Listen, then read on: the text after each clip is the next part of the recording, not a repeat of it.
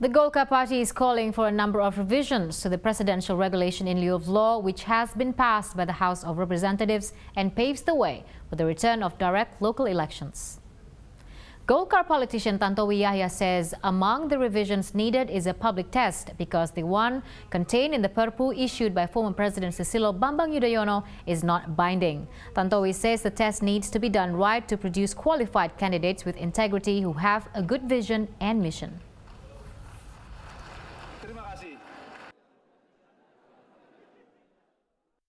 Tergantung kesiapannya, ya tergantung kesiapannya. Tapi kalau saya saya melihat bahwa kalau dipaksakan di 2015 ini sepertinya banyak eh, partai yang akan tidak siap, terutama partai-partai ya, seperti partai kami lah yang saat ini sedang eh, menghadapi permasalahan internal.